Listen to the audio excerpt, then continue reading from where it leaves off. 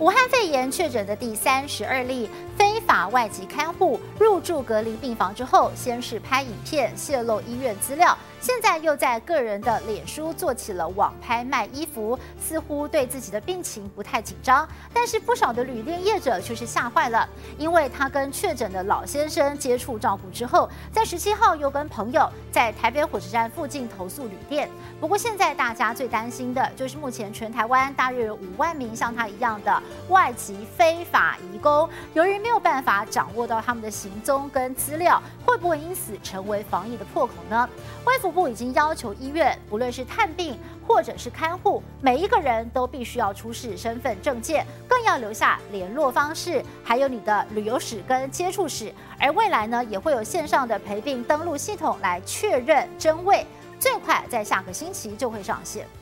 武汉肺炎第三十二例确诊的印尼籍女看护仍被隔离住在病房，但先是拍抖音上传，把医院资料全都泄露，引起轩然大波。隔没几小时，又抛出各式各样数十种款式的长裙卖起网拍，看起来似乎蛮悠闲的，但却有不少人因为她好紧张。在做全面的消毒跟那个防护，因为毕竟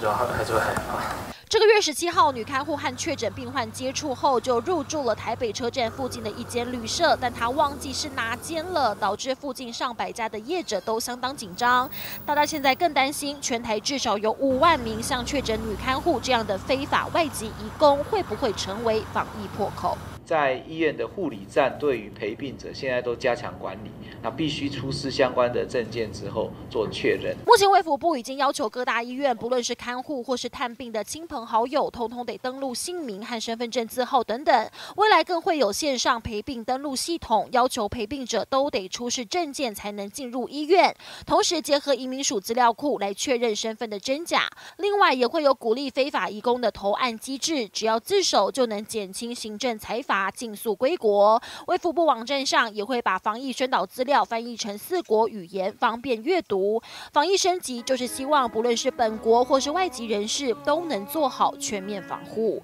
谢东宏、林敏洲台北采访报道。